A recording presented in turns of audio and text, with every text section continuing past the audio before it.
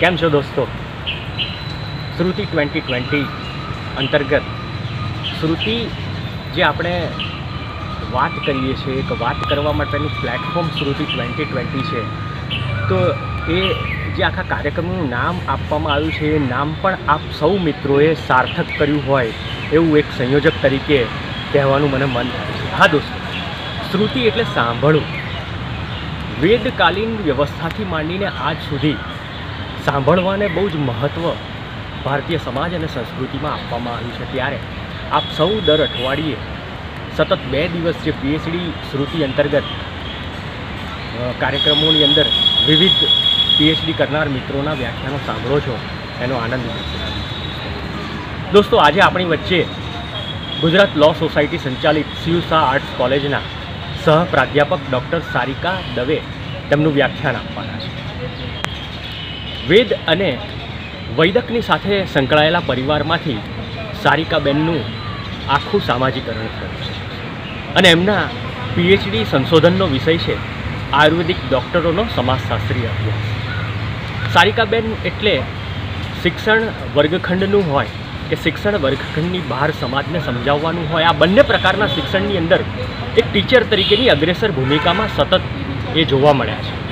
સારિકાબેને તેમના જે સંશોધન છે, એ સંશોધનને જુદી જુદી રીતે સમાજ સમક્ષ મૂકવાનો પ્રયાસ કર્યો છે. એમાં અમદાવાદ શહેરની વાત હોય, અમદાવાદના વાહન વ્યવહારના પ્રશ્નોની વાત હોય, તો પણ એમણે સરસ મજાના સંશોધનો આપ્યા છે. સ્ત્રી શક્તિ પ્રોજેક્ટ અંતર્ગત તેમણે સમગ્ર ભારતની મહિલાઓ જે કોઓપરેટિવ સેક્ટરની સાથે જોડાયેલી હતી, એ લોકોની સ્થિતિ ચકાસવાનો પણ પ્રયાસ એમણે સરસ મજાનો તેમના સંશોધન અભ્યાસમાં આપ્યો છે. આપણા માટે ગૌરવ અને ગર્વની વાત છે કે ત્રીસ વર્ષ સુધી જેમણે શિક્ષણ કાર્ય સાથે સતત ને સતત જોડાયેલા રહ્યા છે એવા ડૉક્ટર સારિકા દવે આજે આપણી વચ્ચે વ્યાખ્યાન આપવા માટે ઉપસ્થિત થયા છે. હું વિનંતી કરું ડૉક્ટર સારિકા દવેને આવો અને પીએચડી સંશોધન અને અનુભવ શ્રેણીમાં આપનું વક્તવ્ય આપો. રજૂ થાય છે ડૉક્ટર સારિકા દવે. નમસ્કાર. હું doctor Sarika Dave. C Usha arts કોલેજમાં એસોસિએટ પ્રોફેસર તરીકે કામ કરું છું. આજે શ્રુતિ ટ્વેન્ટી ટ્વેન્ટી અંતર્ગત હું મારા પીએચડી સંશોધન અને તેના અનુભવની વાત કરવાની છું. એ પહેલાં શ્રુતિ ટ્વેન્ટી ટ્વેન્ટીની શરૂઆત કરનાર ડૉક્ટર રાજેન્દ્રભાઈ જાનીને આ શ્રેણી બદલ ખૂબ ખૂબ અભિનંદન અને તેમનો આભાર વ્યક્ત કરું છું. આ શ્રેણીને કારણે સમાજશાસ્ત્રના ઘણા બધા વિદ્યાર્થીઓ, અધ્યાપકો એટલું જ નહીં અનેક ક્ષેત્રના પણ વિદ્યાર્થીઓ અને અધ્યાપકોને તેનો ખૂબ જ લાભ મળ્યો છે. મિત્રો, સમાજશાસ્ત્રની અંદર આપણે સમસ્યાત્મક પરિસ્થિતિને પણ કાર્યાત્મક કરીએ છીએ. ત્યારે આવી કોરોના મહામારી જેવી સમસ્યાત્મક પરિસ્થિતિમાં પણ રાજેન્દ્રભાઈએ આ સમયનો કાર્યાત્મક ઉપયોગ કરીને આ શ્રેણીની શરૂઆત કરી છે, જે ખૂબ પ્રશંસનીય છે. મારા પીએચડીના અનુભવની વાત કરું એ પહેલાં મારા માર્ગદર્શકો અને મારા આદરણીય ગુરુઓ ડૉક્ટર ઈજે મસીહી સાહેબ અને ડૉક્ટર આમ્રપાલીબેન મર્ચન્ટને આ તબક્કે હું હૃદયપૂર્વક યાદ કરું છું અને તેમને વંદન કરું છું. મિત્રો, સંશોધનની વાત કરીએ તો યુજી અને પીજી લેવલે થિયોરેટિકલ સંશોધન ના સોપાનો સંશોધનના તબક્કાઓ ડેટા એનાલિસિસ, એમાં સ્ટેટિસ્ટિક્સ, આ બધું તો ઘણું બધું સિલેબસ બેઝ ભણ્યા. એમએ કક્ષાએ પણ સંશોધનનો ઘણા બધા મોનોગ્રાફ ને એ પણ, એનો પણ અભ્યાસ કર્યો. સમાજ વિદ્યા ભવનમાંથી એમએ પૂરું કર્યા બાદ ડૉક્ટર મસીહી સાહેબને મેં જણાવ્યું કે મેં મારે પીએચડી કરવું છે. ઘણા બધા કન્સ્ટ્રેન્સ હતા, છતાં પણ પીએચડી કરવાની વાત મેં એમની સમક્ષ મૂકી. ત્યારે એમણે એમ કીધું કે એમએ કર્યા પછી તરત જ પીએચડી ન કરાય, પહેલાં એમફિલ કરવું પડે અને ત્યારબાદ તમારે પીએચડી કરવું જોઈએ. આથી એમની સલાહ અને માર્ગદર્શન મુજબ મેં એમફિલમાં પ્રવેશ લીધો. તે સમયે એમફિલ બે વર્ષનો કોર્સ હતો. પહેલા વર્ષે ત્રણ પેપર ક્લિયર કરવાના રહેતા અને બીજા વર્ષે ડેઝર્ટેશન રહેતું હતું. પહેલા વર્ષે third world survey, monograph, working વિમેનનો Usha તલવારનો અભ્યાસ, આ બધું અમે ભણ્યા. ત્યારે પણ સંશોધનના ઘણા બધા અનુભવ એ પણ ત્યારે થયા. ડેઝર્ટેશન કરવાની શરૂઆત કરી. ત્યારે સૌથી પહેલાં મસી સાહેબે કીધું કે તમારી હાઇપોથિસિસ શું હશે? ત્યારે આ હાઇપોથિસિસ આમ તો ત્યારે ઉપકલ્પના ભણ્યા હતા યુજી લેવલે. પણ એ હાઇપોથિસિસ કહેવાય ને હાઇપોથિસિસ કઈ રીતે તૈયાર કરવાની એની માહિતી ત્યારે નહોતી. અને ત્યારે ઘણી બધી મુશ્કેલી એ પડી કે હાઇપોથિસિસ કઈ રીતે તૈયાર કરવી. જો કે એ સમયે એક કોન્ટ્રાવર્સિયલ મુદ્દો એ ચાલતો હતો અને ન્યૂઝપેપરમાં એ અંગે ઘણી બધી ચર્ચાઓ થતી હતી કે આયુર્વેદના ડૉક્ટરો એ જે પથ્થીમાં ભણ્યા છે, એ જ પથ્થીમાં એમણે પ્રેક્ટિસ કરવી જોઈએ. આવું એક કોન્ટ્રાવર્શિયલ ડિબેટ એ ખૂબ ચાલતી હતી એ સમયે. મેં સરને વાત કરી કે, સર, આના અંગે આપણે અભ્યાસ જો મારે કરવો હોય તો? ત્યારે એમણે જણાવ્યું કે, તબીબી સમાજશાસ્ત્રના સંદર્ભમાં આવા અભ્યાસો થઈ શકે છે. બીજું કે, મારા પતિ પોતે આયુર્વેદિક ડૉક્ટર છે, એટલે થોડીક મદદ મને એમના દ્વારા પણ મળી રહેશે. એવા એક ખ્યાલથી એમફિલ કક્ષાએ આયુર્વેદિક ડૉક્ટરનો સમાજશાસ્ત્રીય અભ્યાસ એવો સંશોધનનો વિષય નક્કી કરો મિત્રો, તમને એવું લાગતું હશે કે હું અહીંયા મારા એમફિલની કેમ વાત કરું છું? એટલા માટે કે મારા પીએચડીનો વિષય મારા એમફિલનો આગળ વિસ્તૃત એને મેં કર્યો છે. એટલે કે જે મારો એમફિલનો પીએચડીનું સંશોધન હતું, એ જ વિષય ઉપર મેં આગળ પીએચડી એ કરેલું છે. એટલે હું મારા પીએચડી સંશોધનની શરૂઆત મારા એમફિલના ડેઝર્ટેશનથી હું એટલા માટે કરી રહ્યું છું. આ રીતે એમફિલ એ પૂરું પૂરું કર્યું. અને એમફિલ પૂરું કરવાની સાથે મનમાં જે ઉત્સુકતા હતી કે મારે હજી પીએચડી કરવું છે. એમફિલ પૂરું થયું. હું સર પાસે ફરી ગઈ કે મારે પીએચડી કરવું છે. મિત્ર, એક વાત ખાસ કરવાની રહી ગઈ કે એમફિલની પ્રશ્નાવલી જ્યારે બનાવવાની હતી, ત્યારે સરે કીધું કે પ્રશ્નાવલી તૈયાર કરીને લાવ. પ્રશ્નાવલી મેથોડોલોજીની રીતે બધી સમજ્યા. પણ એ પ્રશ્નાવલીને કઈ રીતે તૈયાર કરાય? કયા પ્રશ્નો પહેલાં મુકાય, કયા પછી મુકાય, કયા છેલ્લે પ્રશ્ન મુકાય? ઓપન ક્વેશ્ચન કોને કહેવાય, ક્લોઝ ક્વેશ્ચન કોને કહેવાય? આની બહુ જ ઊંડાણપૂર્વકની માહિતી નહોતી. મિત્રો, ખાસ અહીંયા એ જણાવવાનું કે જ્યારે પણ પ્રશ્નાવલી તૈયાર કરીએ, ત્યારે એના એક તબક્કા હોય છે. પ્રશ્નાવલી કઈ રીતે બનાવવાની? તો સૌથી પહેલાં જનરલ ઇન્ફોર્મેશન હોય. અથવા તો એને આપણે પ્રાથમિક માહિતી એ કહીએ છીએ કે જેમાં જે ઉત્તરદાતા છે, ઉત્તરદાતાનું નામ હવે તો જો કે નામનો બહુ ઉપયોગ થતો નથી મેલ ફિમેલ તરીકે જ આપણે લેવામાં આવતું હોય છે. એટલે એ પ્રશ્નાવલીના પહેલા તબક્કામાં એમની પ્રાથમિક માહિતી, એમના ધર્મ, જાતિ, જ્ઞાતિ મૂળ વતન, માતૃભાષા રહેઠાણનું સ્થળ, આ બધી માહિતી હોય છે. ત્યારબાદ એમના કુટુંબને લગતી માહિતી હોય છે. ત્યારબાદ એમના સોશિયો ઇકોનોમિક બેકગ્રાઉન્ડ એટલે એમના આર્થિક પાસાની માહિતી હોય છે. ત્યાર પછી એના જે વિષય છે, એ વિષયને લગતા જે પ્રશ્નો છે, એ પ્રશ્નોને અંગેના પ્રશ્નો એ મૂકવાના હોય છે. આની અંદર જ્યારે પ્રશ્નાવલી બનાવીએ છીએ, ત્યારે મોટે ભાગે ક્લોઝ ક્વેશ્ચન વધારે હોય એવો આગ્રહ રાખવામાં આવે છે. નો ડાઉટ વચ્ચે જ્યાં જરૂર હોય ત્યાં તમે ઓપન ક્વેશ્ચન પણ મૂકી શકો છો. તો આવી રીતે પ્રશ્નાવલી અત્યારે હું બોલું છું જે સહેલાઈથી, એટલું સહેલું મારા માટે તે સમય નહોતું. મેં છ વાર પ્રશ્નાવલી બનાવી અને સાહેબ પાસે ગઈ છ વાર પ્રશ્નાવલી રિવાઇઝ થઈ અને સાતમી વખત મારી પ્રશ્નાવલી સરે ફાઇનલ કરી. મિત્રો, એક અનુભવ ખાસ તમને અહીંયા એ જણાવું કે જ્યારે મેં પીએચડી કર્યું એ પહેલાં ભાષા ઉપરનો એટલો બધો કમાન્ડ ખાસ કરીને લખવાની બાબતમાં એ નહોતો.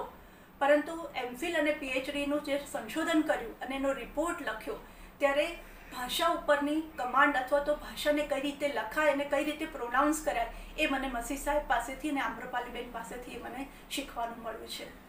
મિત્રો, આ રીતે એમફિલ એની પ્રશ્નાવલી એ લીધી. એમફિલના ઉત્તરદાતા મારા જે હતા એ પશ્ચિમ અમદાવાદના પંચોતેર ઉત્તરદાતાનો મેં અભ્યાસ કર્યો હતો. અને એ અભ્યાસ કરીને મેં એમફિલ આખું મારું એ પૂરું કર્યું. પછી સાહેબને કીધું, મારે હવે પીએચડી કરવું છે. પીએચડી જ્યારે હું એ તબક્કે આવી, ત્યારે સાહેબને કીધું કે, મારા ગાઈડ તરીકે તમે મને ગાઈડ કરજો. ત્યારે એમણે એમ કીધું કે, મારી પાસે ઓલરેડી એમફિલ અને પીએચડીના સ્ટુડન્ટ્સ છે. હું ટૂંક સમયમાં રિટાયર થવાનો છું. હવે મારા સ્ટુડન્ટ્સનું કામ પૂરું થશે. પછી હું પીએચડીના ગાઈડ તરીકે રહીશ નહીં. પણ તું એમ કર એસપી યુનિવર્સિટીમાં ડૉક્ટર આમ્રપાલીબેન છે, એમની પાસે તું જા. એમને નામ આપ્યું અને હું એસપી યુનિવર્સિટીના અધ્ય, સમાજશાસ્ત્રના અધ્યક્ષ ડૉક્ટર આમ્રપાલીબેન મર્ચન્ટ પાસે હું ગઈ અને જણાવ્યું કે સાહેબે મને કીધું છે કે તમારા હાથ નીચે મારે પીએચડી કરવાનું છે. મિત્રો, એ સમયે એસપી યુનિવર્સિટીમાં એક કમિટી બેસતી, રિસર્ચની કમિટીની ખાસ કરીને જે ડિપાર્ટમેન્ટના જે સભ્યો હોય અથવા અધ્યાપકો હોય એ બધાની હાજરીમાં મારે મારી રિસર્ચ પ્રપોઝલ એ મૂકવાની રહેતી હતી. મસી સાહેબ અને આમ્રપાલીબેન સાથે વાત કરીને એવું નક્કી થયું કે મારો એમફિલનો જે સબ્જેક્ટ છે રિસર્ચ ક્વેશ્ચન છે, એને જ મારે આગળ વિસ્તૃત કરવો. જેમાં મારા પશ્ચિમ અમદાવાદના જ ઉત્તરદાતા હતા. એ સિવાય સમગ્ર અમદાવાદના જુદા જુદા સાત ઝોનમાંથી મારે ઉત્તરદાતાઓની પસંદગી કરવાની. આ રીતે આખી મારી મેં પ્રપોઝલ એ તૈયાર કરી અને કમિટીની સામે એ મારી પ્રપોઝલ મૂકી જે સેન્કશન થઈ અને મારું પીએચડીનું કામ એ શરૂ થયું. મિત્રો પીએચડી જે મારો વિષય છે, આયુર્વેદિક ડૉક્ટરોનો સમાજશાસ્ત્રીય અભ્યાસ. તો મારા અભ્યાસની વાત કરું એ પહેલાં કે જ્યારે કોઈ પણ સંશોધન કરીએ છીએ, ત્યારે એ સંશોધનનો રેલેવન્સ આપણો જે સબ્જેક્ટ છે, એટલે કે મારા સંશોધનનો વિષય આયુર્વેદિક ડૉક્ટરનો સમાજશાસ્ત્રીય અભ્યાસ છે, તો સમાજશાસ્ત્રની સાથેનો રેલેવન્સ શું છે? સમાજશાસ્ત્રની સાથે કઈ રીતે આપણે એને રિલેટ કરી શકીએ, કઈ રીતે કોરિલેટ કરીને આપણે એને જોઈ શકીએ? તો મારો જે અભ્યાસ છે, એ સૌથી પહેલાં જોઈએ તો એક વ્યવસાય છે. આયુર્વેદિક ડૉક્ટરો એક વ્યવસાય કરે છે. તો સમાજશાસ્ત્રની એક શાખા તરીકે સોશિયોલોજી ઓફ ઓક્યુપેશન તો એના ભાગરૂપ મારો એક મારો અભ્યાસ છે. બીજું છે કે તબીબો છે, આયુર્વેદિક ડૉક્ટર્સ તમને એક ડૉક્ટર શબ્દ એવું લાગતો હશે કે આયુર્વેદના તો વૈદો હોય, પણ ડૉક્ટર શબ્દ કે એના માટે શું કામ પ્રયોજવામાં આવે છે? એનું કારણ છે મિત્રો, કે એ સમયે, જો કે મારો અભ્યાસ મેં પૂરો કર્યો બે હજારની સાલમાં. આજથી વીસ વર્ષ પહેલાં મેં મારું પીએચડી પૂરું કર્યું હતું. એટલે વીસ વર્ષ પછી આખી એક સ્થિતિ બદલાઈ ગઈ છે. પણ એ પહેલાં મેં જ્યારે ડેટા કલેક્શન ને એ બધું કર્યું અને મારો અભ્યાસ મેં શરૂ કર્યો ત્યારે આયુર્વેદના જે ડૉક્ટર્સ હતા, જે વૈદો હતા, એ વૈદો અને ડૉક્ટર એ બંનેની વચ્ચે એ રીતે ડિફરન્સ છે કે ત્યારે આયુર્વેદના જે સ્નાતકો હતા, જે પ્રેક્ટિસ કરતા તે મિક્સ પ્રેક્ટિસ કરતા હતા. એ લોકો એલોપેથી પણ કરતા હતા અને આયુર્વેદ પણ કરતા હતા. કેટલાક શુદ્ધ આયુર્વેદ પણ એ કરતા હતા. એટલે જે લોકો શુદ્ધ આયુર્વેદ કરતા હતા પોતાને વૈદ તરીકે ઓળખાવતા હતા અને જે લોકો મિક્સ પ્રેક્ટિસ કરતા હતા એલોપેથી અને આયુર્વેદ, એ લોકો પોતાને ડૉક્ટર્સ તરીકે ઓળખાવતા હતા. અહીંયા મેં મારા અભ્યાસમાં બંને પ્રકારના આયુર્વેદિક ડૉક્ટર્સોને અને વૈદોને મેં લીધા છે મારા ઉત્તરદાતા તરીકે, મારા રિસ્પોન્ડન્ટ તરીકે. યસ એટલે આ જે મારો વિષય છે, એ તબીબી સમાજશાસ્ત્ર સાથે સંકળાયેલો છે, જે મેડિકલ સોશિયોલોજીનો પણ એક ભાગ છે. ત્રીજો જે છે સોશિયોલોજી ઓફ પ્રોફેશન ડૉક્ટરોનો વ્યવસાય એ સમાજમાં પ્રોફેશન તરીકે એટલે એક વિશિષ્ટ વ્યવસાય તરીકે એ પ્રોફેશનનો ગણાય છે. એ સંદર્ભમાં મારો આ અભ્યાસ એ સોશિયોલોજી ઓફ પ્રોફેશનનો પણ ભાગ છે. એટલે આ રીતે જોઈએ તો સમાજશાસ્ત્રની પેટા શાખા સાથે જુદી જુદી ત્રણ પેટા શાખા સાથે મારો આ અભ્યાસ એ જોડાયેલો છે. બીજી વાત કરીએ તો એક આખી આ ભૂમિકા છે. આયુર્વેદિક ડૉક્ટર્સની આ એક ભૂમિકા છે. એટલે ગોફમેનની જે રોલ થિયરી છે, એ રોલ થિયરી સાથે પણ મેં આ મારા અભ્યાસને જોયો છે. એટલે મિત્રો, જ્યારે કોઈ પણ સંશોધન કરીએ છીએ, ત્યારે સમાજશાસ્ત્રનું રેલેવન્સ અને તમે એને કઈ રીતે સમાજશાસ્ત્રની થિયરી સાથે કઈ રીતે એને જુઓ છો, આ બાબત બહુ જ અગત્યની છે.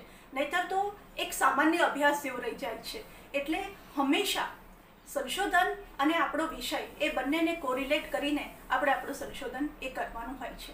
આ રીતે સમાજશાસ્ત્રની પેટા શાખાઓ સાથે મારો અભ્યાસ કઈ રીતે સંકળાયેલો છે, એની વાત એ કરી.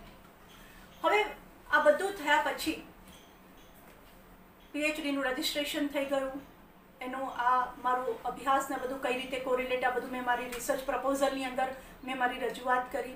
હવે પ્રશ્ન એ આવ્યો કે રિવ્યુ ઓફ લિટરેચર આપણું આ કામ પૂરું થયું એટલે રિવ્યુ ઓફ લિટરેચર જેમાં સંશોધન સાહિત્યની સમીક્ષા અને આ બહુ જ મહત્વનો ભાગ છે review of literature review of literature માટે મેં અમદાવાદની જુદી જુદી લાઇબ્રેરીનો ઉપયોગ કર્યો છે. જેમાં ગુજરાત યુનિવર્સિટી, ગુજરાત વિદ્યાપીઠ જીઆઈડીઆરની લાઇબ્રેરી તેમજ ઈ લાઇબ્રેરી તરીકે ત્યારે જ ઇન્ફ્લિબિનેટ એની શરૂઆત થઈ હતી.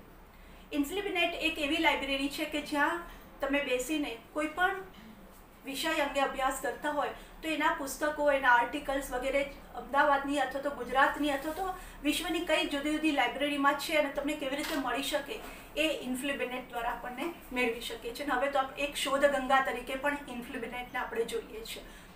તો એ દરમિયાન બહુ જ નવું હતું ઇન્ફ્લુબિનેટ પણ મને ઇન્ફ્લુબિનેટ તરફથી પણ ઘણો બધો સહકાર, મને ઘણું બધું રિસર્ચના ઘણા બધા રિપોર્ટ્સ ને બધું મને ઇન્ફ્લિબિનેટ દ્વારા પણ મળ્યું હતું. અને ઘણા બધા રેફરન્સીસ અને પુસ્તકો પણ મને ઇન્ફ્લિબેટ દ્વારા મળ્યા હતા.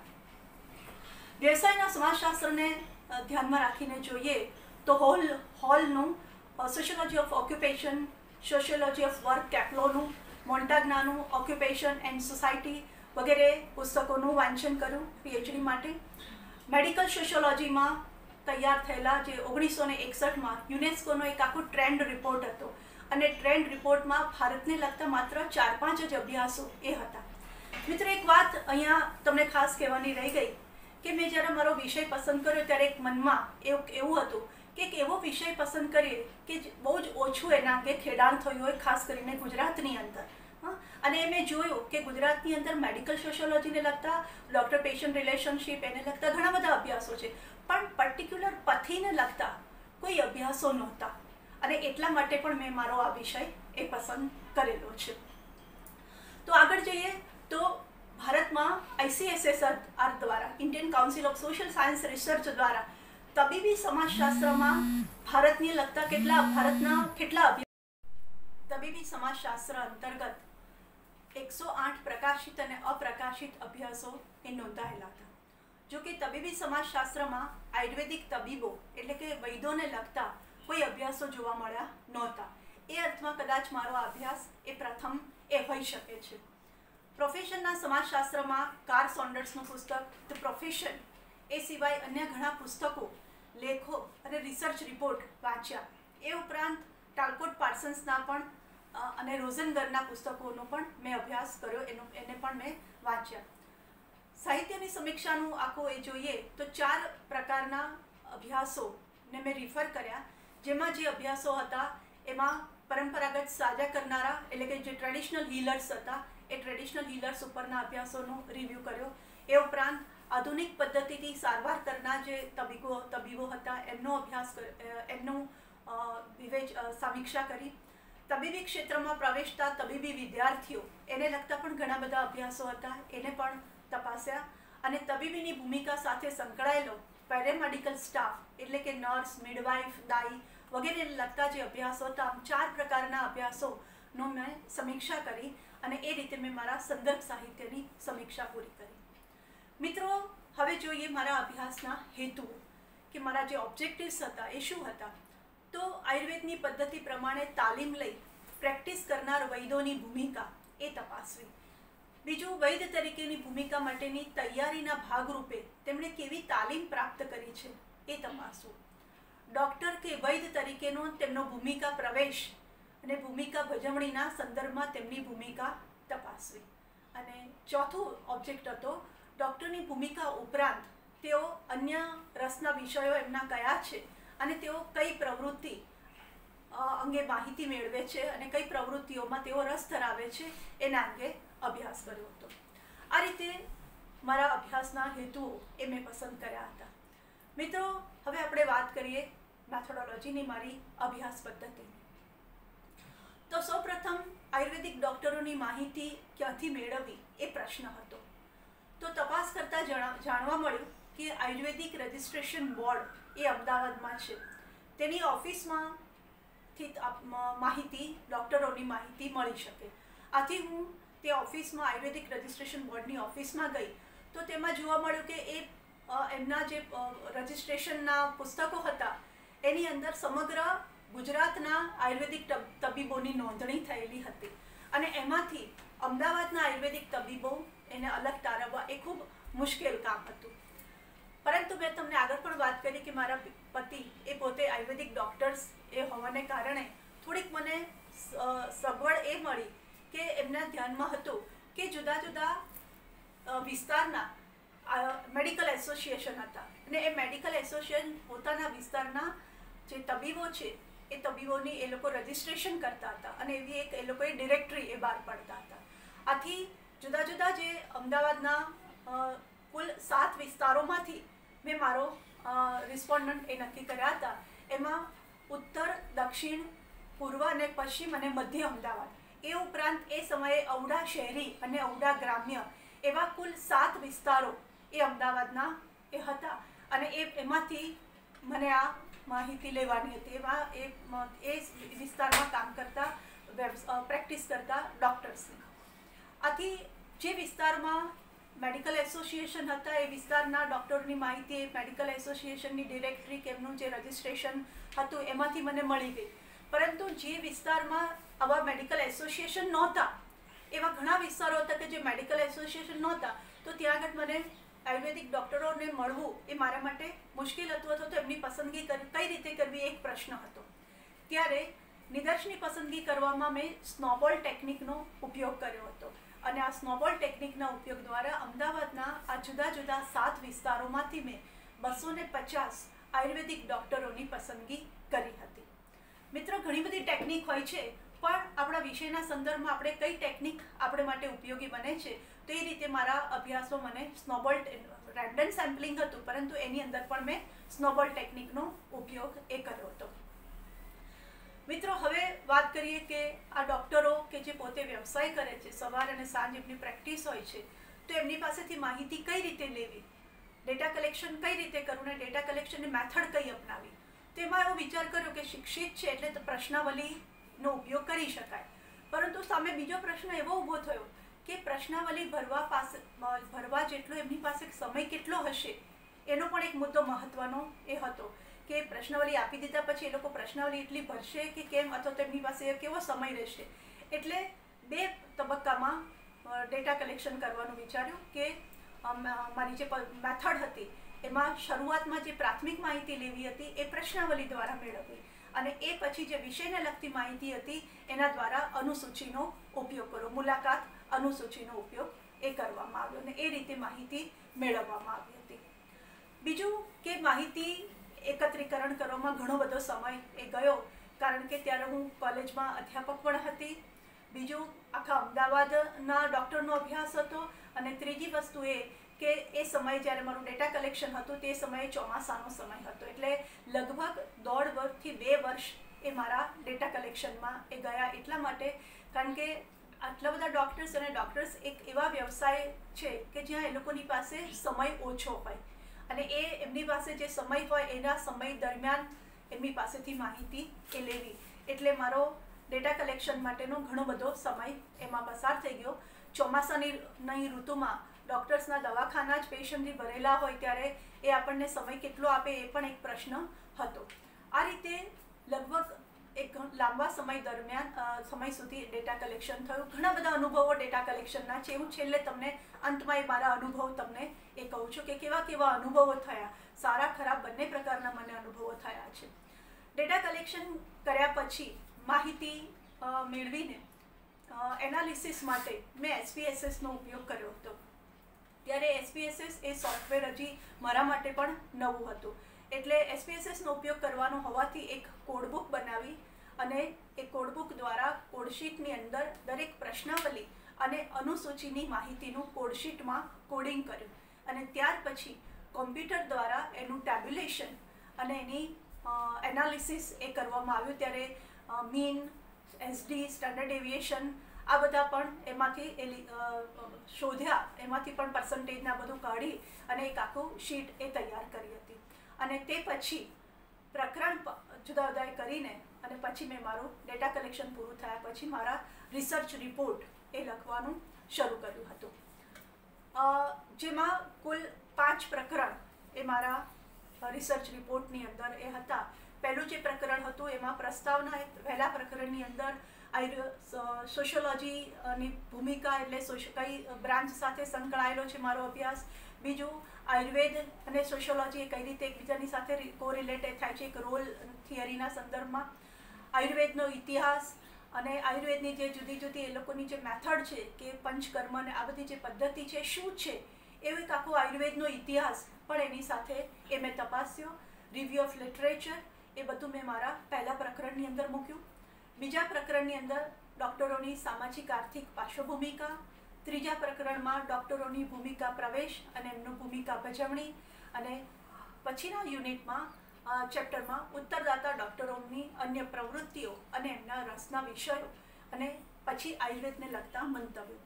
મિત્રો, આ જે આયુર્વેદના ડૉક્ટરો હતા, એ એવું કહી શકાય કે આયુર્વેદ અને એલોપેથી બંનેની વચ્ચે બંને સ્વીકારતા હોય એવા ઘણા બધા ડૉક્ટર્સ એ હતા. એટલે એક બાબત એ પણ મેં તપાસી, એક આખો મેં સ્કેલ ડેવલપ કર્યો કે જેની અંદર આ ડોક આ જે ઉત્તરદાતા છે, મારા રિસ્પોન્ડન્ટ છે, એ કેટલા મોડર્ન છે અને કેટલા ટ્રેડિશનલ છે, એનો એક તપાસ માટે મેં એક આખો સ્કેલ ડેવલપ કર્યો. એ સ્કેલના ડેવલપની ચર્ચા હું પાછળ જ્યારે કન્ક્લુઝન કરીશ ત્યારે એની અંદર હું વાત કરીશ. અને છેલ્લું મારું જે યુનિટ હતું એ કન્ક્લુઝનનું એ યુનિટ હતું. મિત્રો, આ રીતે એક આખી સંશોધનની યાત્રા. હા જેટલું આપણે સહેલાઈથી બોલીએ છીએ, એટલું આ સહેલું નહોતું.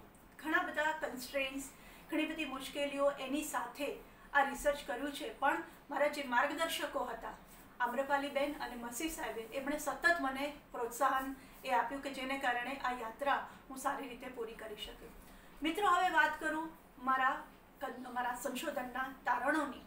તો સૌથી પહેલાં જોઈએ તો આયુર્વેદના ડૉક્ટરના ડૉક્ટરનો જે સમૂહ છે, તેની ભૂમિકા અને એના વર્તનના સંદર્ભમાં જોઈએ તો આ જે ડૉક્ટરો છે, એ સમાન લક્ષણોવાળું જૂથ નથી.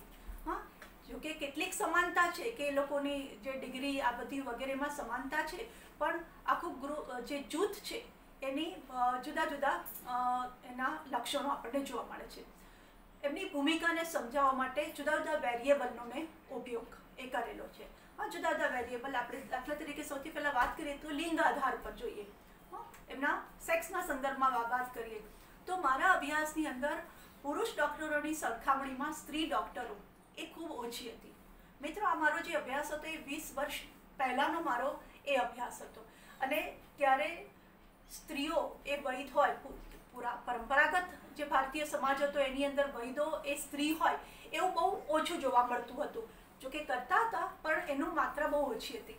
એટલે કદાચ મારો જે અભ્યાસ જે થયો એની અંદર પણ એવું જોવા મળ્યું કે સ્ત્રીઓ એ હતી, પરંતુ પુરુષોની સરખામણીમાં સ્ત્રીઓની સંખ્યા એ ઓછી હતી. અને જે પણ હતી એ મોટે ભાગે યુવાન વયની સ્ત્રીઓ હતી.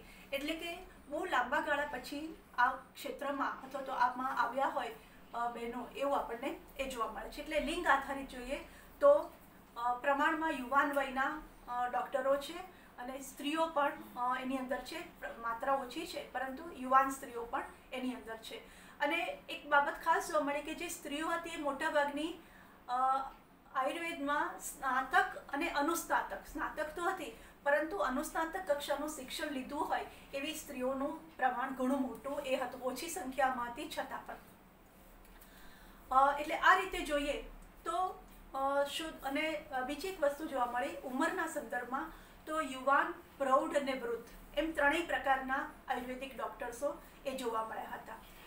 શુદ્ધ આયુર્વેદ કરનારા મોટા પ્રમાણ, મોટે ભાગે એ મોટી ઉંમરના હતા. એ વૃદ્ધ કે પ્રૌઢ કહી શકાય એવા શુદ્ધ આયુર્વેદ કરનારા એ ડૉક્ટરો હતા. બીજું, જે યુવાન ડૉક્ટરો હતા, એ મોટે ભાગે મિશ્ર પ્રેક્ટિસ કરતા હતા, જે એલોપેથી અને આયુર્વેદની પ્રેક્ટિસ કરતા હતા એવા જ હતા.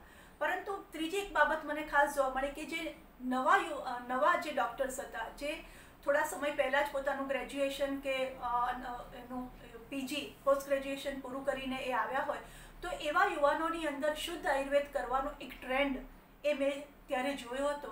જે અત્યારે આપણે જોઈએ છે કે જે આયુર્વેદના ડૉક્ટરો એ પોતે સ્નાતક કે અનુસ્નાતકની ડિગ્રી લઈને એ લોકો મોટે ભાગે શુદ્ધ આયુર્વેદ કરવા તરફ વળે છે. એ ટ્રેન્ડ મેં એ સમયે જોયો તો લગભગ મારું data collection nineteen ninety seven, ninety એઇટમાં મેં મારું ડેટા કલેક્શન કર્યું. એ સમયે આ ટ્રેન્ડની શરૂઆત થઈ, જે આજે આપણે ફૂલ ફ્લેજ એ જોવા મળે છે. તો આ રીતે જે ડૉક્ટરો છે, નવા આવનારા ડૉક્ટરો હતા, એ લોકો શુદ્ધ આયુર્વેદ એ કરતા હતા. અને નિષ્ણાતીકરણ પણ એની પાછળ કારણભૂત હતું હા સ્પેશિયલાઇઝેશન આયુર્વેદની અંદર પણ ઘણા બધા સ્પેશિયલાઇઝેશન એ થતા આપણને જોવા મળે છે. હા, અને ઘણી બધી એની બ્રાન્ચ છે સ્પેશિયલાઇઝેશનની પણ ઘણી બધી બ્રાન્ચ એની અંદર એ જોવા મળે છે. ત્રીજું એ જોવા મળે છે જ્ઞાતિના સંદર્ભમાં. મોટે ભાગે મારા અભ્યાસમાં જે જોવા મળ્યું કે મોટાભાગના જે ઉત્તરદાતા હતા એ બ્રાહ્મણ જ્ઞાતિના હતા. હા, અને એનું કારણ એ હતું કે અગાઉ બ્રાહ્મણોની પાસે અથવા તો સંસ્કૃતનું જ્ઞાન જેમની પાસે વિશેષ હતું, તેથી એ લોકોને માટે આ વ્યવસાયમાં આવવું એ સાહજિક હતું. એટલે બ્રાહ્મણ હોય અને સંસ્કૃતના જે અભ્યાસો અથવા તો સંસ્કૃતના પાઠ્યપુસ્તકો અને એનું વાંચન વધારે હોય, સંસ્કૃતના વેદ, ઉપનિષદ, સાહિત્ય, સંસ્કૃત સાહિત્ય એનું વાંચન વધારે હોય અને એને કારણે આ જ્ઞાન હોવાને કારણે એ લોકોની પાસે પણ આ જ્યોતિષ, કર્મકાંડ, આયુર્વેદ આ બધું પણ એમની પાસે સહજ હતું. એટલે આ બ્રાહ્મણો આ વ્યવસાયમાં આવે એ ખૂબ સાહજિક હતું. જો કે, હવે વર્તમાન સમયમાં જુદી જુદી જ્ઞાતિના ઉત્તરદાતા પણ મારા અભ્યાસમાં જોવા મળે છે. એટલે જ્ઞાતિ અંતર્ગત હવે કોઈ એવા તફાવત કે ભેદભાવ જોવા મળતા મળતા નથી. એટલું જ નહીં કે અમુક જ્ઞાતિના ડૉક્ટર છે એટલે એની પાસે પેશન્ટ વધારે હોય ને અમુક જ્ઞાતિના છે એટલે એની પાસે પેશન્ટ ઓછા એવા કોઈ ફેરફારો મને અહીંયા જોવા નહોતા મળે બધાને ત્યાં પેશન્ટની માત્રા ને બધું એ એવા કોઈ ખાસ તફાવત જોવા મળતા નહોતા. એટલે જ્ઞાતિ, વર્તમાન સમયમાં આપણે જોઈએ તો આ વ્યવસાયની અંદર જ્ઞાતિનો કોઈ હવે એવા ઇસ્યુ રહેતા નથી કે બ્રાહ્મણો જ કરી શકે આ બધી જ જ્ઞાતિના. મારા અભ્યાસની અંદર અનુસૂચિત જાતિ, અનુસૂચિત જનજાતિ, કારીગર જ્ઞાતિઓ, મધ્યમ વર્ગની જ્ઞાતિઓ, બધી જ જ્ઞાતિના ઉત્તરદાતા એ મને જોવા મળ્યા હતા. પરંતુ એ બધામાં સૌથી વધારે એ બ્રાહ્મણો ઉત્તરદાતાનું પ્રમાણ હતું. કમ્પેરેટિવલી બ્રાહ્મણ જ્ઞાતિના ઉત્તરદાતા એ વધારે હતા. હવે વાત કરીએ આ ડૉક્ટરોના પ્રોફેશનના સંદર્ભમાં. તો એમાં ત્રણ પ્રકારના ડૉક્ટરો જોવા મળતા હતા કે એક તો જે જનરલ પ્રેક્ટિસ કરતા હતા એવા ડૉક્ટરો કે જે લોકો મિશ્ર પદ્ધતિથી અભ્યાસ પ્રેક્ટિસ કરતા હતા. બીજા કેટલાક જે હતા જે શુદ્ધ આયુર્વેદ કરતા હતા, જે કન્સલ્ટન્ટ હતા, આપણે એને કન્સલ્ટન્ટ કહીએ કે જેઓ વૈદ છે, શુદ્ધ આયુર્વેદ કરતા હતા એવા. અને ત્રીજા એવા ડૉક્ટર્સ હતા કે જેઓ જૂથમાં કામ કરે, કે જે લોકોને પોતાના પોલિક્લિનિક હતા. હા, પોતે કામ કરતા હોય આયુર્વેદ અને પણ એની સાથે એમના પ્લો- પોલિક્લિનિક હોય એટલે કે એમાં ઓર્થોપેડિક સર્જન પણ હોય ગાયનેકોલોજીસ્ટ પણ હોય અને બીજી બ્રાન્ચના પણ ડૉક્ટરો સાથે મળીને એ લોકો કામ કરતા હોય, તો આવા ત્રણ પ્રકારના એ ડૉક્ટરો એ કામ કરતા હતા. જો કે આ જે એમના દવાખાના હતા એમની સગવડો પણ જુદી જુદી હતી. કારણ કે પોલિક્લિનિક હોય એટલે મોટા દવાખાના હોય, બેડની સંખ્યા વધારે હોય એવી જ રીતે જે એકલા કામ કરતા હોય, તો જનરલ પ્રેક્ટિસ કરતા હોય, તો સગવડો થોડીક ઓછી હોય પ્રમાણમાં. કન્સલ્ટિંગ કરતા હોય, તો એને એ રીતની સગવડો. એટલે એમના હોસ્પિટલમાં પણ આ બાબતો જોવા મળી હતી. બીજું કે વ્યવસાયના ઉત્તરદાતા કેટલા અંશે આધુનિકીકરણના પ્રેરક બળ તરીકે કામ કરે છે? તે માટે આધુનિક અને પરંપરાગત મંતવ્યોના સંદર્ભમાં મેં એક સ્કેલ ડેવલપ કર્યો હતો. એટલે પાંચેક પ્રશ્ન પૂછ્યા હતા. એ પાંચ પ્રશ્ન એમાં આયુર્વેદનું જ્ઞાન અથવા તો સંસ્કૃતનું જ્ઞાન તમને આવશ્યક છે કે કેમ? એવા પાંચ જુદા પથીને લગતા પ્રશ્ન પૂછ્યા હતા.